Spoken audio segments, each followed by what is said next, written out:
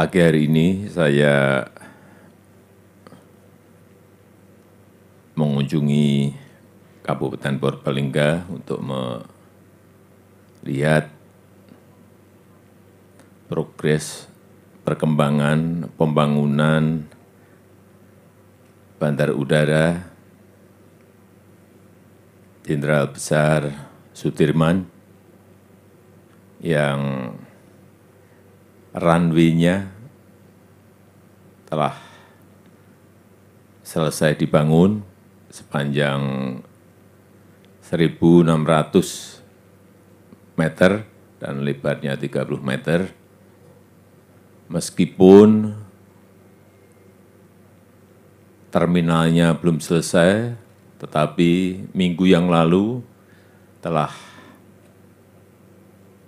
mulai dilakukan penerbangan dari Jakarta ke Purbalingga, kemudian dari Purbalingga ke Surabaya oleh Citylink. Dan kita melihat juga penumpangnya lebih dari 70 persen, Alhamdulillah, dan kita harapkan ini akan, bandara ini akan memberikan kontribusi menumbuhkan ekonomi tidak hanya di Kabupaten Purbalingga, tetapi juga di Banyumas, di Cilacap, kemudian Banjarnegara, kemudian Wonosobo, dan juga daerah sekitarnya, termasuk Kebumen. Sehingga kita harapkan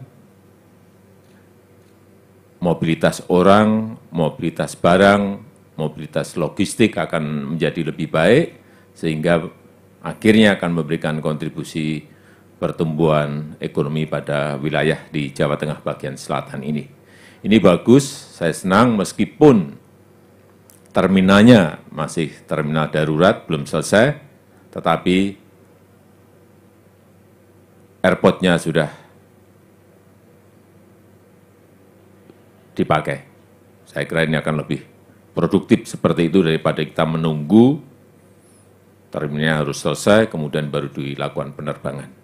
Saya kira cara-cara cepat seperti ini yang akan terus kita lakukan terhadap juga airport-airport yang lain yang uh, dalam proses dibangun.